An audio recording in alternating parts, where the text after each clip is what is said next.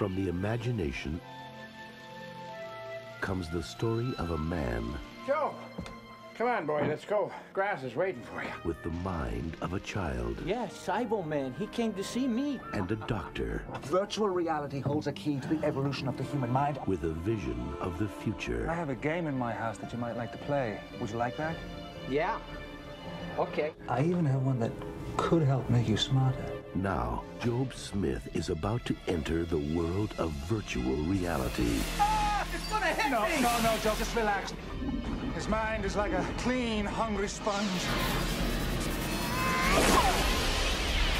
I just graduated to the next level, Joe. You realize, Dr. Angelo, that my intelligence has surpassed yours. Wow, you've certainly changed. I don't know how you did it, but I approve.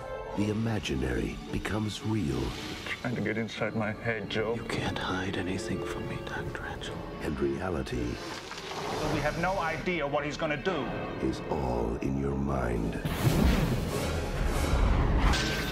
The Lawnmower Man.